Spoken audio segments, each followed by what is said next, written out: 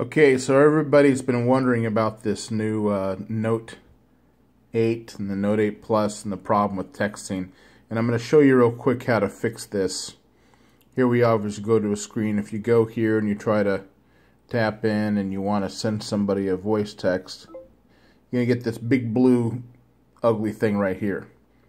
There's a real simple way to get rid of this and get yourself back to the original default text app that you're used to either on Verizon Messenger, AT&T Messenger, whatever service you happen to use. So this is a real easy way to do this. Let's go up here. Let's go ahead and swipe down and get to our settings area. I want you to hit that little wheel right there, okay? And we're going to go down and we're going to find if I can move down. Am I down all right? Okay. So we're going to find General Management. That's what we want to click on. So we're going to click on General Management. And we're going to go all the way up here to where it says Language and Input. Okay. Language and Input, we're going to go to On-Screen Keyboard. Right here and you this is your best friend right here is where it says manage keyboards. So let's go ahead and click on manage keyboards. And this big ugly thing that says Samsung voice input we're going to turn that off. Okay. Let's go back to our home screen. Back to here. Let's go and hit it again.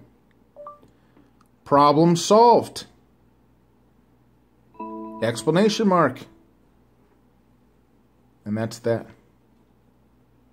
Okay? That's all you have to do. It's going to keep copying me here. So just remember that, and I'll just go through it one last time for anybody who takes longer than most. You want to go back to your settings area, go to the little wheel up here, boom. Make sure you're at general management. Make sure we're at language and input.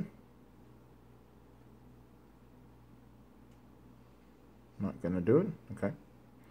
Down here to on-screen keyboard.